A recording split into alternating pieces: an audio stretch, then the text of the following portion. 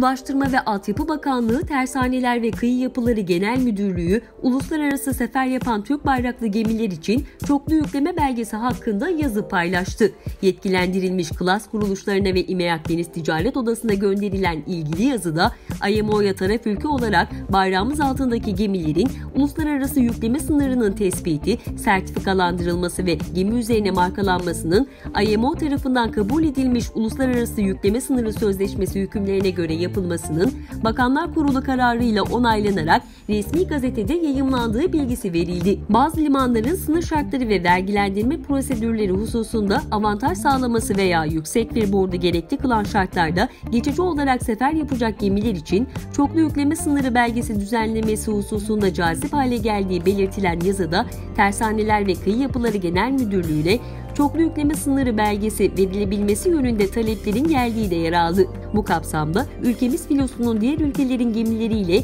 ticari rekabeti sağlayabilmesi amacıyla uluslararası sefer yapan Türk bayraklı gemilere çoklu yükleme sınırı belgesi düzenlemesine yönelik uygulamanın belirtilen usul ve esaslar çerçevesinde gerçekleştirileceği bildirildi.